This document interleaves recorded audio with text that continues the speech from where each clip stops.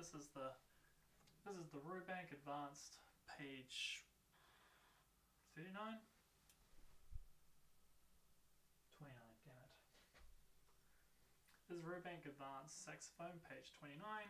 It's the 9 8 piece, so number 21, and it should be about the speed 1 and uh, 2 and uh, 3, and uh, so always trying to think groups of 3 quavers if you can, rather than being like 1, 2, 3, 4, 5, 6, 7, 8, 9, it's too busy.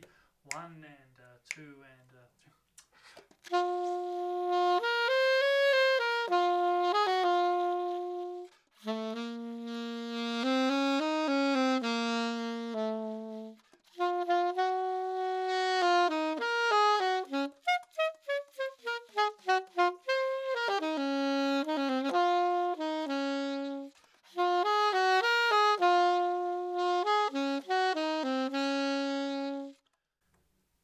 So the missing E flat aside, that's the general idea.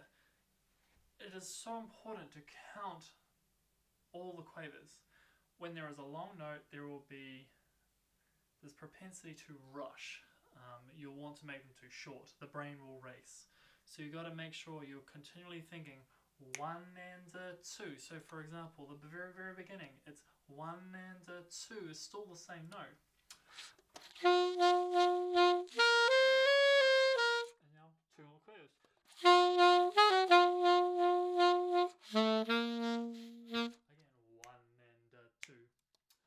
And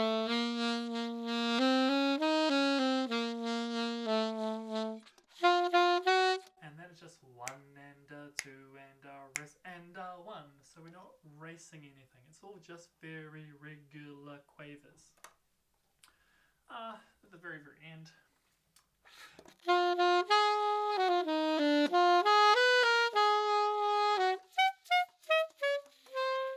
And changes the page, but that's just just general idea of the piece. The, the themes of that type of counting strategy flow through the entire piece.